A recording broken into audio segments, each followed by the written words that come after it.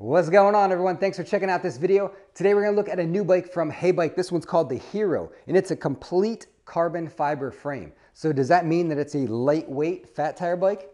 Well, I'd say it's lighter than the competition, but let me tell you everything about this bike. Okay folks, we're taking a look at the newest from Heybike. This one is called the Hero, a complete carbon fiber frame on the Hero bike. And this is a prototype bike that they sent to me for testing. Currently, it's in a crowdfunding campaign, and I'll put a link to that campaign below so you can see the current pricing. I believe the production models are estimated to ship in June of 2024, and right now it's priced at $23.99.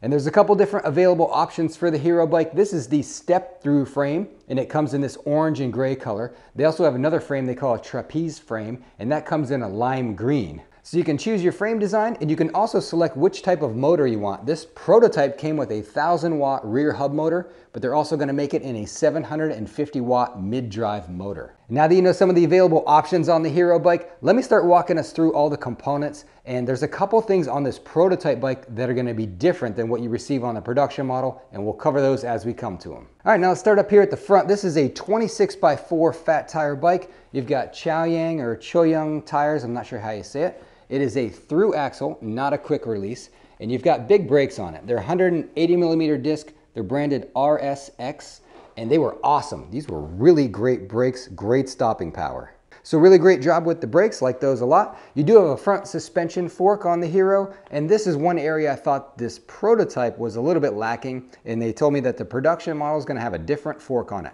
It's gonna have a lot more adjustment here on the top. This one's just either free to spring or it's locked out. So there should be a better fork on the production models.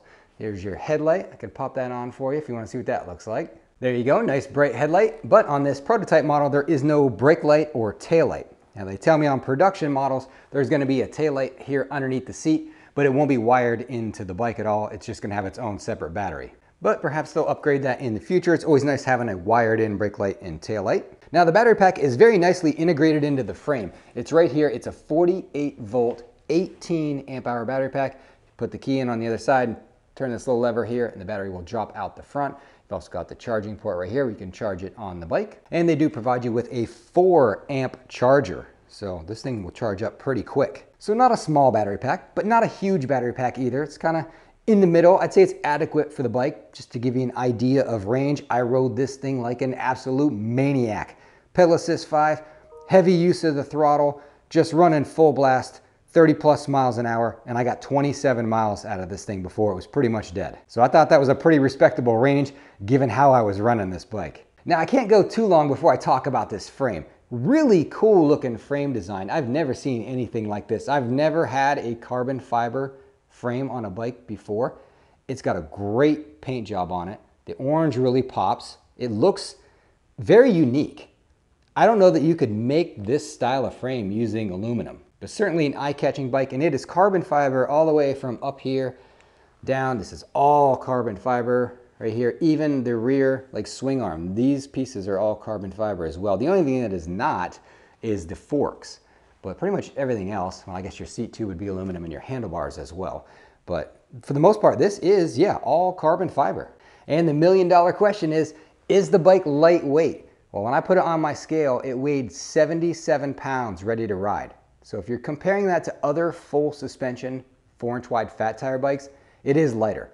Those bikes typically are in the high 80s, low 90s on the weight. This is 77, so you're you know 10 to 15 pounds lighter than an equivalent full suspension bike that's on an aluminum frame. They do make that other frame style they call the trapeze frame. I would assume that that's probably gonna be about the same weight as this, and they each have a carrying capacity of 400 pounds. So I wouldn't say this is a lightweight bike, but it is lighter weight. I mean, when you're talking about putting on a big 1000 watt motor and big, huge four inch wide fat tires, and you're also doing full suspension, I mean, it's tough to keep the bike weight down. But the carbon fiber did help it shed a few pounds, and I opened up, took the battery pack out and looked inside on the inside of the frame. You can actually see the carbon fiber weave, which was pretty cool. It might have been neat if they kept that design on the outside as well, and you would really know at that point it's carbon fiber. Just kind of put like a gloss over top of it or something. But while we're down here, we can take a look at the gearing. I'll put the freewheel and the chainring sizes on the screen for you, but this is a nine speed bike. Never ever ran out of pedal. Even pedaling at like 40 miles an hour,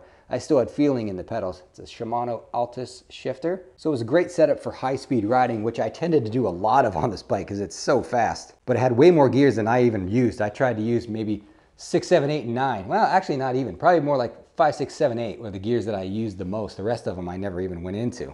The step-through frame is really easy to mount, of course. And just to give you some dimensions, to this bottom part right here is about 19 and a half inches, but where you're gonna put your foot through is probably about 21 inches to get your foot through there. The minimum seat height is 34 inches. So I've got some clips of me getting on at the seat height where I was riding it, also me getting on where the seat is at the minimum height and they list the recommended rider heights from five foot three up to six foot six. I'm six foot tall. I had no issue riding this bike in a comfortable position. These fat tire bikes always fit me pretty perfectly. I'm able to pedal them really easy, get off and on really easy. They tend to be a comfortable ride at my height. But my wife, who's five foot four, they always feel pretty big for her. I've got some footage of her mounting the bike Again, five foot four inch rider. She was, you know, barely able to get her toes on the ground. 34 inch seat height's a little tall for her. I think she normally rides at maybe 32. And she was able to get on, take this hero bike for a ride. However, she did mention she felt a little bit stretched out due to the piece on the handlebars that kind of sticks out. It makes her reach for the handlebars a little bit. And then also, smaller person, smaller hands. So she actually commented that she had a hard time reaching the brake levers with her shorter fingers. That's stuff that she's told me on a couple other bikes where the brake levers kind of stick out a little bit further than normal. So she had quite a reach to grab them. So just a couple little things we noticed, things you don't really get to know about a bike unless you actually go out and ride it and try it. So hopefully you're finding these little notes helpful. But one thing we haven't talked about yet is this rear suspension. And the rear suspension shock is hiding right there. I think this is called a Horst link suspension and I found it to be pretty soft. I mean, it soaked up a lot of the bumps. It had a lot of movement in it.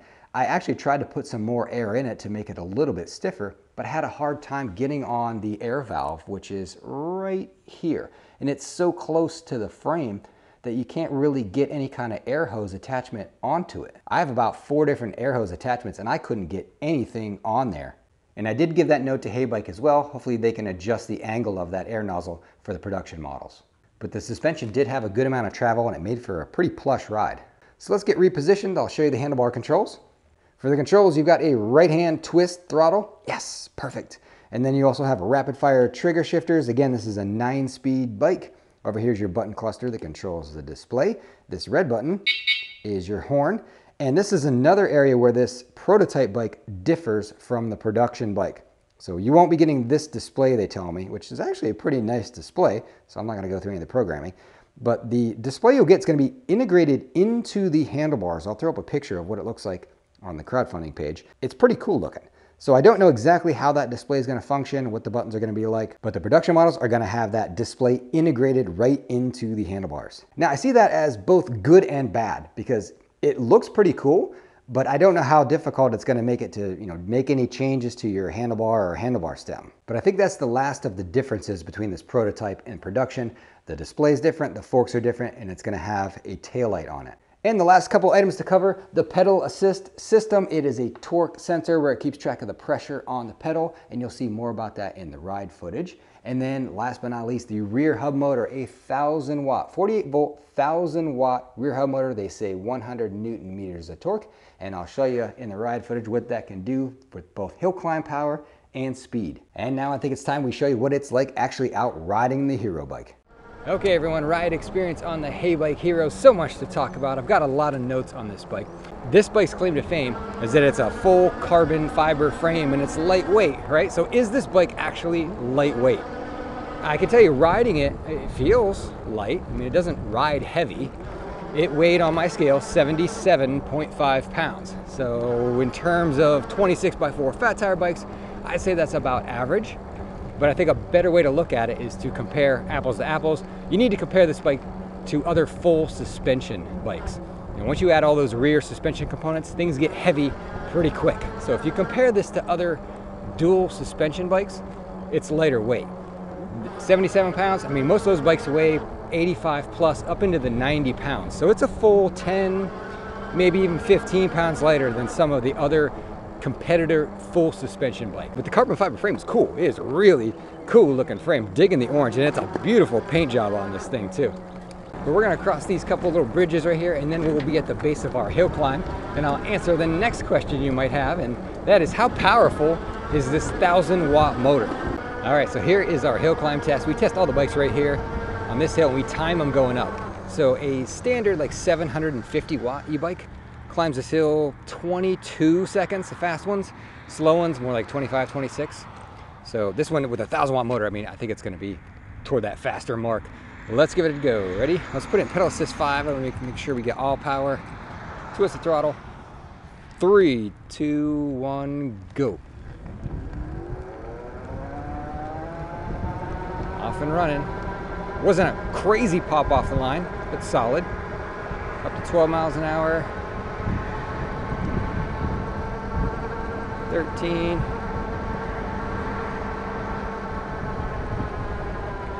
Steep part, and then we cut the time right here.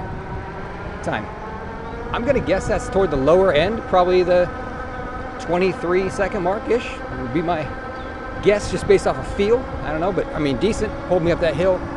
No struggle, no problem at all. No pedaling from me. All right, so we got some decent power out of this 1000 watt rear hub motor. And truthfully, it feels more powerful in terms of speed than it does on the hill climb. Because, I mean, you can really wind this thing out. It is really fast. I'm going to show you here in a second. We're going to go find a straight stretch where we can really open it up and you'll see what I'm talking about. But it just feels stronger with speed than it does hill climb. But in terms of, let's talk about ride position. Um, I'm a little bit stretched out. You got this piece right here on the handlebar that kind of juts out forward. It stretches you out a little bit. It's not really uncomfortable. I'm not dying to change it like I am on a lot of other bikes, but I mean, you could shorten that up if you want to sit a little bit more upright. The seat, it's not flat, but it is kind of soft and I'm not, I guess, hating it because you've got the really, really plush rear suspension that just soaks up every bump. So you don't even notice that the seat isn't perfectly flat and wide. The rear suspension just takes care of all of that strain.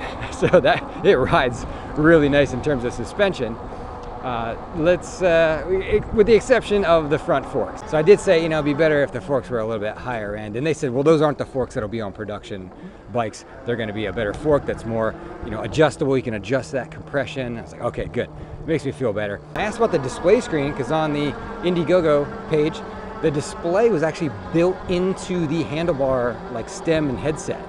And they said that that was the one you're going to get, not this one. So I didn't, you know, didn't get a chance to test the new one, obviously. I, I like this one. I, I, like this display. I wouldn't be upset if I got this one. They did say that a rear rack would be available at the time of order. I didn't get a rear rack with this one, so that's good. I always like having that rear rack option. Although I did ask about fenders as well, because this one has no fenders, and they said no, they don't have fenders for it yet. And I don't know if they're working on that or not. So you might not be able to get a set of custom fenders for it. You'll just have to buy you know, an aftermarket set and get them attached yourself. Now this prototype delivers some pretty crazy power. I mean, I'm in pedal assist one right now. You can hear the motor assisting me and it just kind of like never cuts out. It just keeps going and going and going. I mean, I'm at 18, 19, 20. It's still going, 21, two, three. I mean, I did bring that up with them and they said, no, no, no, we've, we've changed the software for production models and that'll be you know decreased down because I can't ride the prototype at low speed. It just won't allow it. It just wants to go, go, go. Now for the pedal assist system, it's a torque sensor. But my experience with this has been that it recognizes the initial pressure. If I start pedaling, kicks in pretty quick. Right there. I'll stop pedaling, start. I mean, it's almost instantaneous that it kicks in but it doesn't seem to deliver any more power the harder you push, which is typically how I expect the torque sensor to work. When I start pushing harder, you know, give me more power, but it seems to deliver just kind of a constant amount.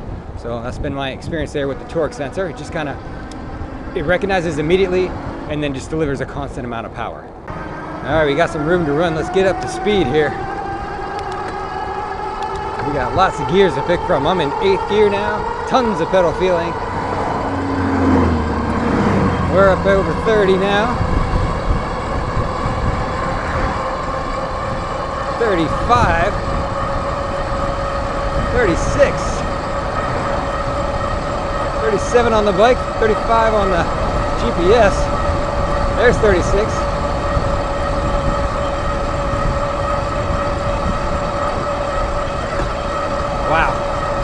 Good speed. 36 on the GPS. Very nice. Really some great speed out of this thing. 36 miles an hour. I think the display on the bike was like 37. But going along with that, the brakes are also really good. We got RSX branded brakes. I believe they're like a four piston caliper. They got a lot of bite to them. I'm gonna pull them hard right here. I mean, oh, they're sticky. Wow. A lot of stopping power on this thing. I mean, that brought me to a stop in a hurry. I felt the front end dive down. Dang, those brakes are really good. Those are some of the best brakes I think I've had actually. They're not really loud. They really bite down hard. This Hero bike, man, it cruises right up to that 30 mile an hour mark pretty easily. Effortless pedaling in eighth gear. We're at 30 miles an hour. I mean, just blazing 31, 30. I mean, I'm putting no effort in this at all. It's just trucking right along. If you're looking for more of like a high-speed commuter where you have to go 30 plus, this might be a good bike for that. It's just roaring through this neighborhood though. That motor, that motor's really kind of loud. The pass. All right, here we go. Now we can go. We're going a little bit uphill right now. No trouble keeping, you know, 29, 30 mile an hour.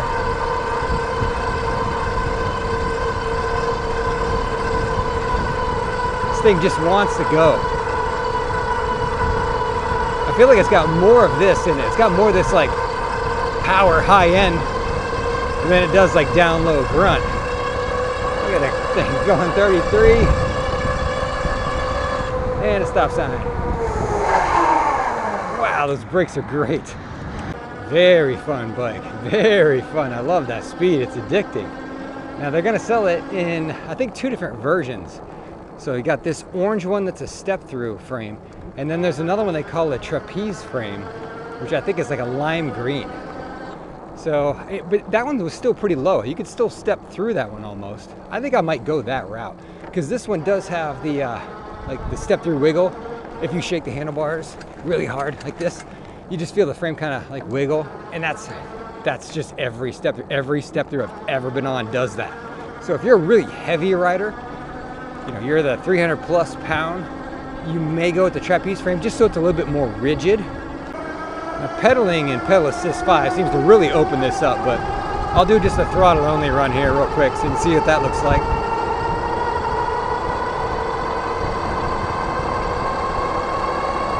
The 30, 31, 32, 33. I mean, throttle only 33. That's pretty good, man. Start pedaling a little bit. 34, 35. 37 on the bike, 35 on the display. Yeah, so I mean, really great speed. if speed's your thing, man, you're gonna like this bike. All right, let's do a little bit of uh, suspension testing here. Hit this uh, ditch and blaze through this field a little bit. This isn't too bad. I mean, it soaks up all these bumps because they're just little bumps. I don't really have a whole lot of off-road testing areas where I live. It's very bouncy. Suspension is very soft. The front forks are real soft. The rear suspension is pretty soft too. I did have some trouble getting air into it. That air valve is really hard to get on. But doing this, this is a smooth ride. This is probably about the limit, I would say, of the suspension. I'm not off the seat. I'm sitting on the seat. It's pretty comfy. It's just eating up all these bumps. That's no problem. You get into some bumpier stuff though, I think you're gonna find the limitation of the suspension pretty quick. Let's go over, there's a, another field over here that's a little bit worse shape. Let's go check that one out. All right, here we go. Let's try this field. This is cornfield or something. Oh, this is real rough. You can hear everything clanking around. Really, kind of clanking. Yeah, this is uh, not as comfy. You can hear the forks kind of rebounding up and hitting as well. Why are we riding on all the bumpiness? We could be out here on this road. We got the speed for it. Crank it up. There. Ah. Oh, so much nicer. There. Yeah. That's where this bike is happy. And last but not least, just to give you an idea of the range on this Heybike Hero, I rode this thing today until it is pretty much dead. I mean, we're down to one bar on the screen. It was flashing at me earlier. And uh, we started the day with a full charge. Of course, it's got this little thing on here. Let's switch over to voltage. We're at 40.8 volts. So that battery's pretty much done at this point. You know, it's it doesn't have much power left in it at all. I'm gonna call it there. It's out of usable power. And I rode, I rode this thing hard today.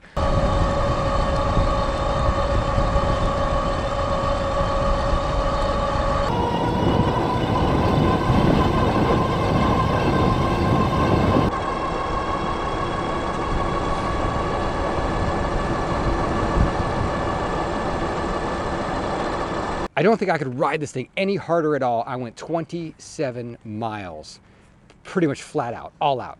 So I highly doubt that's how you're gonna ride it. So you're gonna easily get probably 30 plus miles, maybe even closer to 40 if you're pedaling a lot and taking it easy on the throttle. There you go, just one piece of data. Of course, that's gonna depend on your terrain and your weight and all that stuff, but people always ask about range. So there you go. I got 27 miles just killing this thing as fast as I could. All right, well, hopefully that ride footage gave you a better feel for what it's like to experience this Heybike Hero. Now I'm gonna try to summarize things for you a little bit, talk about the positives and negatives as I see them. So positives for me on this bike were frame. The, I mean, the frame design is just cool looking. It's a cool looking frame. It seems to be constructed really well. It's painted very nicely. It's very accessible with the step through. I like the frame. The carbon fiber does help. It is lighter weight than competition. If you look at other 26 by 4 full suspension fat tire bikes. This one's a good 10 to 15 pounds lighter. So the carbon fiber does help. The brakes were excellent. I really like the brakes. The gearing was great. Never run out of pedal on this thing. Even at, you know, 35 plus miles an hour, you still got feeling in the pedals. It has solid hill climb power, tremendous speed very fast. I mean, a 48 volt, 1000 watt motor, and this thing was going 35, 36 miles an hour pretty easily. That's, that's some fantastic speed. That actually really surprised me about this bike. And the suspension was nice and soft, so it made for a pretty plush ride. Now, for the negatives on the bike, there's a couple things I'll point out. Number one is no fenders. They don't sell fenders for it. I don't know if they're going to. So can't get fenders. You can get a rear rack. They're gonna have that available if you, when you purchase, but no fenders. There's no taillight or brake light wired in on the bike. This prototype has nothing. The production models are gonna have like its own standalone battery operated taillight under the seat, but for an electric bike, I feel like they should just have a taillight and a brake light wired in. I don't care if it's a $600 e-bike or a $2,400 e-bike. I feel like you need to have brake lights and taillights wired into the bike. Now for the rear suspension, although it was nice and soft and plush, if you were a heavy rider, you wanted to adjust that shock, make it a little stiffer, that air valve is really difficult to get onto. I'm hoping that in the future they can change the angle of that so you can more easily adjust the rear shock. Now another issue that I encountered that was specific to this prototype was the pedal assist system being set really high. This bike, I could not ride it slow. The pedal assist one took me to like 25 miles an hour. So just, there was just no slow speed riding on this. I mentioned this to Heybike. They told me they've already changed the software in the production bikes. So you'll be able to ride them at a low speed. Pedal Assist 1, I think is gonna take you to about 12 miles an hour. So that issue should be fixed. Um, I, I'm not sure if that software update also affects the torque sensor. I mentioned in the ride footage that it engages really quickly, but it doesn't seem to vary its power output with my varying pedal pressure. So honestly, I don't feel like I can give a fair evaluation on the pedal assist and torque sensor system, being that this prototype bike is different.